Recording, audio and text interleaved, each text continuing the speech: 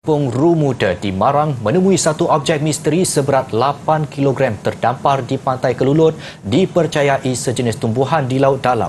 Penduduk kampung tidak pernah melihat hidupan laut seperti itu tetapi segelintir nelayan mendakwa ia mungkin lemak ikan paus yang telah beku. Objek berkenaan ditemui Mahmud Kecik seminggu lalu selepas berakhirnya air pasang besar dan fenomena ombak besar. Ketika itu, banyak sampah sarap termasuk pelbagai barangan dihanyutkan ke pantai. Namun, pertama kali objek misteri ini ditemui.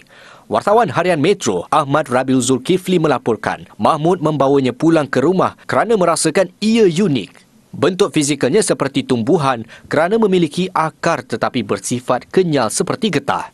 Menurut Mahmud, dia cuba membakar sebahagian kecil serpihan objek ini dan ia mencair umpama lilin. Sejak mempunyai objek pelik berkenaan, ramai penduduk datang ke rumah Mahmud untuk melihatnya. Mahmud dikatakan sedia bekerjasama dengan pihak tertentu yang ingin membuat kajian ke atas hidupan laut yang ditemui ini.